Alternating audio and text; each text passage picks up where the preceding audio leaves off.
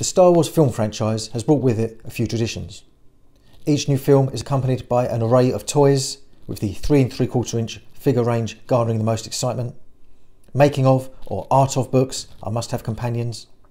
And no merchandise release is complete without one other thing the comic book adaptation.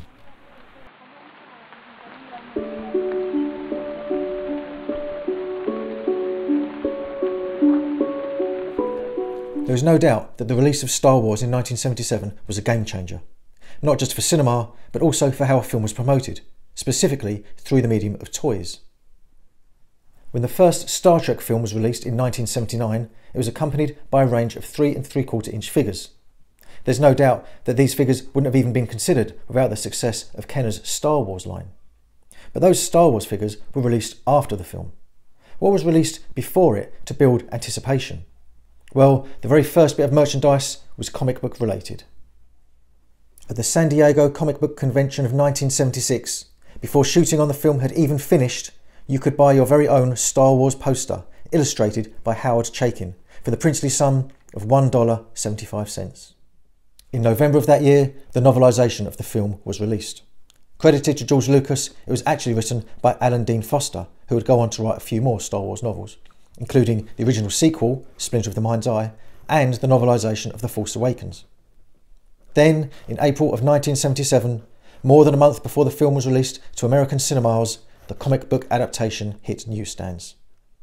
A comic book adaptation was seen by Lucas as an effective way to publicise the film to a demographic seen as a significant chunk of their target audience. So, how did Marvel get the gig? Well, the rights to publish an adaptation were offered to other companies originally, such as DC Comics, but they refused, as did Marvel at the first time of asking. A year later, after George Lucas personally requested the creative team of writer Roy Thomas and artist Howard Chaykin, Marvel gave the project the go ahead. Roy Thomas was instrumental in this. George Lucas was a fan of his work on Conan the Barbarian, and after meetings between Thomas and members of the Star Wars production team, he persuaded Stan Lee to approve the adaptation. Lucas was also a fan of Howard Chaykin's work, particularly on the science fiction anthology comic Star Reach. For an artist who worked for both of the big two companies, he somehow managed to avoid any long runs, with his stint on Star Wars up to issue 10 being one of his longest. He also wrote for both comics and TV, although more so for DC than for Marvel. As has been said, the comic was released before the film, and work on it began before the film had been completed. So Howard Chaykin had to base some of his work on concept art or unfinished scenes, which led to some interesting moments in the comic. The creative team were assembled, the printing presses were rolling, and on the 12th of April 1977, the first ever Star Wars comic was released. Now, before you say anything, yes, it's a facsimile copy. The original issue 1 is massively overpriced. I promise I will never use another facsimile copy for a review, unless we have a look at, say, Amazing Fantasy 15. Howard Chaykin's cover has echoes of that promotional poster from the previous year. And it is odd seeing Star Wars described as a film by George Lucas. Not to mention the fact that the good guys are holding red lightsabers. Let's crack it open. Knowing how comics have changed over the years, I can tell you exactly how this would have looked had it been released in the modern day. The first page would have been all black, with just text on it, which of course would have been the opening crawl for Star Wars. And then overleaf, you'd have found a two page splash of just one image, and that would have been that iconic opening shot of the Star Destroyer uh, chasing down the Tantive 4. This came out in 1977. Of course, we open with the correct uh, opening scene, but it's from a totally different perspective. In fact, we are looking back on the Star Destroyer, but nonetheless, it is chasing down that rebel cruiser. We are told the two vessels uh, are then joined together by grappling rays, not a tractor beam, you moron. And then, as the stormtroopers board the rebel ship, we see C3PO and R2D2 for the first time. And 3PO says, This is madness, R2. Uh, no. I think you find the first line is, Did you hear that? There's then a bit of banter between the two droids, as 3PO says, I should have known better than to trust the logic of a half-sized thermocapsulary dehousing assister. I don't remember that line from the film. But of course, in these days, Once the film had finished its theatrical run, there were no videos, no DVDs, no internet. So if you wanted to relive the film, you could only do it by reading the novelisation, which was pretty dire, or from reading the comics. So you can imagine that people would think that was a line from the film. Oh, you remember that time when 3PO says to R2, I should have known better than to trust the logic of a half-sized thermocapsular dehousing sister. Brilliant. Um, but of course it didn't happen. And there are lots of examples, uh, as you'll find on YouTube, um, of old films where lines have been misquoted. And it's down to the fact that once they were seen, that was it. You, you, you couldn't relive them for, for many years until they were on TV or until the dawn of video. Either that, of course, or it's uh, two dimensions crossing over. Could be either, couldn't it? Speaking of things that people wouldn't have seen in the original film, we now have a deleted scene as we head to Tatooine and we meet our hero, Luke Skywalker, for the first time. And he's wearing that god awful hat that he seems to wear in all of those deleted scenes that haven't been put back in to the special edition. We're only with him briefly as he watches the battle in space from Tatooine before we then uh, return to the rebel ship. And now, not only the stormtroopers, but Darth Vader has boarded. And we see him, we're all familiar with this scene, aren't we? We see him lift up the rebel trooper and ask him where the uh, stolen tapes are. Then, of course, he utters one of his classic lines as he tells the stormtroopers to tear the ship apart and find the passengers of this vessel. I want them alive! And this is one of the examples where it's so difficult to read this comic and not hear the voice of James Earl Jones in your head, or, or any of the characters for that matter. C3PO and R2D2 uh, have found Princess Leia and she's depositing her message inside R2. Shortly after which time, the droids find the escape pod uh, and use that to get away from the ship. Leia, of course, is discovered by stormtroopers, and as one of them shouts out that he's found them uh, and to set weapons for stun, she says, I've set mine to kill. Great comeback. We, of course, see her um, stunned by the stormtroopers before again returning to Tatooine, and again it's another deleted scene. This time we see Luke going into Anchorhead, and whilst he's there, he meets up with his friends such as Biggs Darklighter, uh, Camie, uh, and Fixer, who were completely dropped from the film. And they refer to him as Wormy, this nickname he has, which I'm glad that wasn't reintroduced into the special edition. Back in space, uh, oh, okay, so is the Tantive 4 not inside the Star Destroyer? But they're still on the Tantive 4? That's weird. They do change a few of the lines here, which isn't a really a big issue. Uh, for example, we've got one here, uh, and this is the first time that Princess Leia comes face to face with Darth Vader. And he says, Several transmissions were beamed to this ship by spies, who are now, unfortunately, dead. Rogue One. We then return to Tatooine. Get used to this. And on Tatooine, we find the droids. And this is a nice rejigging because uh, we have this scene, don't we, where they go their separate ways. We see R2D2, we see C3PO separately. But they've rejigged it nicely all, to all fit on one page. And what we have is C3PO's uh, lines spoken whilst we see R2D2 and what happens to him. Then it's time for another deleted scene as we see Luke with Biggs again. Talk about the fact that Biggs has uh, now joined up, hasn't he? And Luke wants to, but he's stuck on this boring planet. Before we go back to space, uh, and it's the uh, conference room scene with Darth Vader. And we know it's Darth Vader because one of the admirals around the table says, It's Grand Moff Tarkin and Darth Vader. Oh, is that who that is? I, I thought it may be him, but in the light, could have been anybody, couldn't it? We then have the discussion that we're all very familiar with, with one or two slight differences. For a start, uh, Darth Vader refers to something that he calls the cosmic force. The cosmic force? Okay. And then the biggest uh, addition, the biggest change, is that he seems to be drinking a glass of milk. At least he says, I find your lack of faith disturbing. Not sure if it has the same effect whilst standing there with a glass of milk in your hand, Darth. They all sitting around the table thinking, how's he going to drink that? Guess where we're going next? Correct, Tatooine. we see that the Jawas have brought a selection of droids to the Lars homestead. And no, Uncle Owen, that isn't an R2D2 model. It's R5D4, as everybody knows, although in fairness, Luke does refer to him as an R2 unit in the film. Of course, as we all know, the R2 unit has a bad motivator, so he's replaced with R2D2, and the droids uh, trot off with Luke towards the homestead. Once there, we see Luke telling 3PO uh, that he can just call him Luke. We all know the punchline to that one, don't we? And then, whilst he's working on R2, he discovers the message from Princess Leia. And she recounts it. She says what is arguably the most iconic line from the entire franchise. Kind of. When she says, Obi Wan Kenobi, help me, you're my only hope. Yeah, the right words, not necessarily in the right order. But it is interesting because, of course, at this time, the film hasn't been released.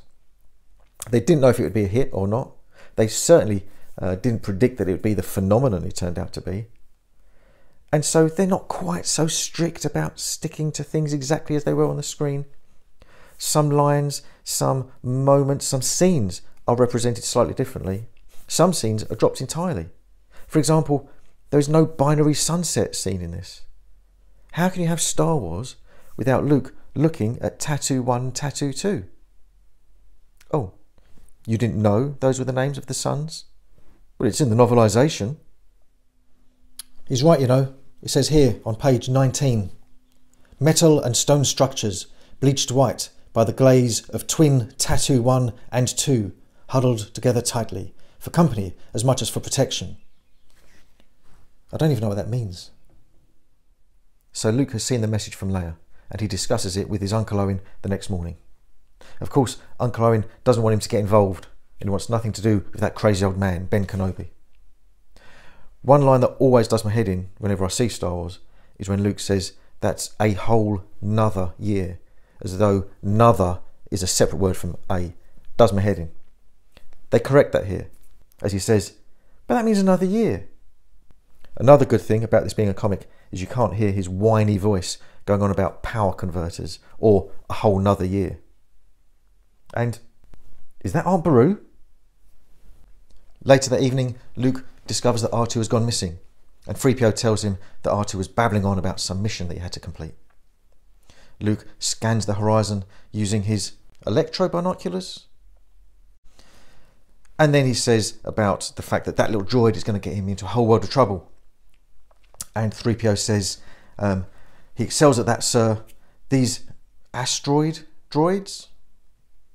Unfortunately for our heroes, the stormtroopers have arrived on Tatooine, and there is a representation of that classic shot of the stormtrooper picking up the metal ring and saying, Look, sir, droids. There is also a representation of that not quite so classic scene of C3PO driving the land speeder. Luke and 3PO catch up with R2, but when they do, R2 lets out a, a warning. And 3PO says, R2 says there are several creatures approaching rapidly from the southeast. Luke says, sand people, or worse. He scans for them using his electro binoculars. And while he's looking for them, he says a line which always confused me when I saw the film. Um, he says, Yeah, there's sand people, all right. I see one of them now. And when I first saw this film, it wasn't at the cinema, it was on TV. And this was in the days where TVs weren't widescreen, they were the more boxy ratio. And so they cropped the picture. And the view we had looking through the binoculars was, if I remember rightly, just of the banthas. And he said, Yes, they're sand people, right? I can see one now. And then the next thing you know, he's attacked by a sand person. So I guess it was just trying to be funny. I don't know, weird. But of course, now that we've all seen the widescreen version, you do see a sand person walking around in the distance. And then he's attacked by one, as he is here. We get a brief but dynamic fight scene, and he's left with the Tusken Raider holding his uh, gaffi stick high above Luke's head, poised to kill. Imagine reading this comic a month or so before the film came out. You would kill for a ticket, wouldn't you? It's a great start to the adaptation, even with the inaccuracies. And how about this for a cover? Mum, Dad, this comic is a film. Take me to see it. Let's see if Ben really does wield a red lightsaber. We rejoin Luke where we left him, which is at the mercy of the Sand People. They're rifling through the land speeder when a noise spooks them and they run off. the noise turns out to be Ben Kenobi. And look at this. What a great illustration of Alec Guinness. And it's not a one off either, because there's another one on the next page when he says, Quickly, son, they're on the move. Which is a line that it's hard to hear without it then being followed by a upwards screen wipe. Back at Ben's house, we see Leia's message conveyed, and she mentions the name of her father, Bail Antilles. Antilles. They really wanted to use that name, didn't they? But they just couldn't settle on whose name it was. We then have Ben explaining a bit of the history, the background to Jedi Knights, and what happened to Luke's father. And he says, Your father wanted you to have this when you were old enough, and hands him the lightsaber. He also says he wants Luke to come with him to Alderaan, but Luke says he can't. He's not going to Alderaan. Um, he's he's a farmer basically. On the Death Star, Princess Leia is about to be interrogated, and we all know what the interrogation droid looks like, don't we? Yeah. Well, who's that then?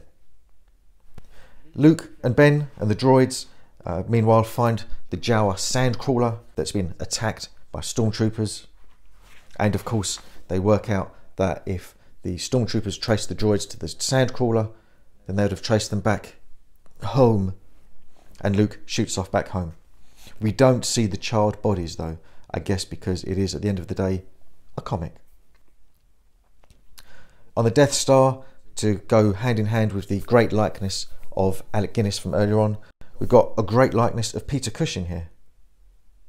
Then Howard Chaykin uh, completes his hat trick with a brilliant uh, rendition of the scene of the heroes in the land speeder with these sand troopers around them looking for the droids. Really good. But that's not before Ben Kenobi utters one of the greatest lines in cinema history. You won't find a more wretched hive of villainy. You're ruining all the best lines. Then it's on to everyone's favourite, the cantina scene, where Luke falls foul of a couple of patrons and Ben has to get involved. And there's a definite hint of red to that lightsaber. But I forgive them. I forgive them because of this next picture with great shadows on Ben's face. And look at the bottom. Is that Walrus Man's hand? Did you ever wonder why the stormtroopers entered the cantina in the first place? In the film, we see just before they go in the cantina that they're outside talking to someone in the street. And C3PO says, I don't like the look of this there is an earlier unreleased cut that shows that person they're talking to coming out of the cantina and actually calling them over. So he informs on what's happened in the cantina. And we kind of get a version of that in this. Although in this version, the informant isn't human as he is in the film, he is some kind of purple alien. But nonetheless, it's he that approaches the stormtroopers Back inside, Luke and Ben meet Han and Chewie and discuss arrangements for taking them to Alderaan. They then leave, and Han, of course, is joined by Greedo. Now, this will be interesting. I wonder who they will show shoots first. Oh, blimey. Well, that's clear. Then, after Luke sells his land speeder, it's time for another scene cut from the original theatrical release as Han Solo meets up with Jabba the Huh? Clearly, this isn't the large slug like Jabba the Hutt that we're all familiar with. It isn't even the human version that was originally used. Lucasfilm had told Marvel by this point that this scene was going to be cut from the final version of the film, but they said they could use it if they wanted to. And they also said they could use the design for a character called Ming or Mingo uh, that was in a uh, shot that was cut from the Cantina scene. He also made his way into the goddamn holiday special. After Jabba and his cronies leave, the stormtroopers arrive. And with Luke and Ben on board the Millennium Falcon, it's time for them to escape from Tatooine. They don't get far though, because as soon as they get beyond the atmosphere of the planet, they come across three very manoeuvrable, it seems, Star Destroyers. There's only one thing for it they have to make the jump into what I like to think of as funky hyperspace. The good guys continue to hold red or at least pink lightsabers, on the cover of issue 3, as we see that Leia finally joins the team. Once we get past the logo at the top of the page, I mean, what are we? Five? We join Princess Leia, Grand Moff Tarkin, and Darth Vader aboard the Death Star. They're overlooking Alderaan, and Grand Moff Tarkin, of course, is trying to get the location of the hidden uh, rebel base from Princess Leia. Speaking of Grand Moff Tarkin, what a fantastic portrait of Peter Cushing. Of course, Princess Leia doesn't divulge the location of the secret hidden base, so Grand Moff Tarkin orders for Alderaan to be destroyed. Now, have you ever wondered what time it was that Han, Luke, and the others arrived at what was Alderaan? We can tell you. The last time we saw them, they were stuck in funky hyperspace, and they're still there. However, Han Solo does point out that he calculates their arrival at Alderaan at 2 o'clock in the morning. So they're not there yet. They've got time to fill. And Luke does this by engaging in some kind of training uh, with the remote. And that is definitely, again, a red lightsaber. Regardless, as we know, once he's put the helmet on with the blast shield down and reached out of his feelings, he doesn't do too badly. Shortly after that, the ship emerges from hyperspace to where Alderaan should be, but isn't. Instead, they come across what they think is some kind of meteor storm and a TIE fighter.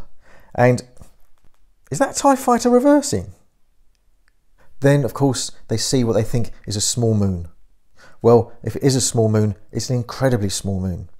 Because this is another occasion where the fact that this comic was written and drawn before the finished film had been seen uh, shows up. Because the Death Star isn't anywhere near the size it is on the big screen. Luke says, Would you look at the size of that thing? Um, okay, yeah, well, it's about the size of a large building, I suppose. The Millennium Falcon is drawn into the Death Star, and our heroes hide and then manage to get hold of a couple of stormtrooper outfits so they can infiltrate the base and get up to the control room. Now, one of the issues I have with comic book adaptations of films is sometimes they're so keen to uh, replicate what's on the screen that in comic book form it's not really clear what's happened because, of course, you can't see movement. You can indicate it, but you can't see the movement. So, if you hadn't seen the film, would you know how Chewbacca just suddenly appeared standing next to that officer? Once our heroes are safely inside the control room, they work out how to deactivate the tractor beam that's holding the Millennium Falcon in place. But Obi Wan Kenobi says that that is a task that he has to go and do alone. And look at that picture. There is so much hidden meaning and portent in that picture. There's little doubt that Obi Wan isn't going to return from this. R2, meanwhile, has found her, the princess. Luke, of course, wants to save her. Han, hmm, not so much. Nonetheless, they work out a plan using their disguises and putting some uh, cuffs on Chewbacca to infiltrate the detention centre. Now, this is an interesting example where the comic has totally changed my understanding of what happens. You got the scene where they go into the detention centre. Uh, Chewbacca breaks free of the cuffs and they start shooting, they shoot the cameras, all that kind of thing. Now, I always thought that they used the disguises to get into the detention centre and once there, try to do all the damage. But here, it's explained that they were still pretending they were stormtroopers even in the detention centre. Chewie broke free of his cuffs and they were pretending to be trying to shoot him. But they kept on missing and hitting the security cameras, the other stormtroopers. It's totally changed my understanding of what happened. And it's confirmed here in these text boxes. Next moment, Luke and Han are blasting away. Their reaction excellent, their enthusiasm undeniable, their aim execrable. I admit, I had to look it up, but execrable means rubbish, basically, so they should still fit in with the other stormtroopers. But it clarifies even further. Not a single shot comes close to the raging Wookiee. Instead, they blast automatic camera, energy rate controls, and somewhere along the line, two of the troopers. There is an officer in the room, and just as he's about to reach for the alarm, he gets shot the hell out of. With the personnel out of the way, Luke sets off to find the princess. Han embarks on a conversation that turns out to be boring and then lets Luke know that they're going to have company. Luke has found the cell, and then we have the legendary meeting between him and Leia, and that little bit of banter where she says, Aren't you a little short for a stormtrooper? And he says, What? Oh, the uniform. I've come to rescue you. I'm Luke Skywalker. They're doing this on purpose, aren't they? Stormtroopers do arrive rapidly, and our heroes are trapped in the detention centre. And then we are told next issue Ben Kenobi versus Darth Vader to the death. They always say that kind of thing in comics. Don't worry about it. So it seems our heroes are in a bit of a tight spot. Will they get out? Is Boba Fett a Mandalorian? Actually, I'll tell you what, we better check out the next three issues, just to make sure.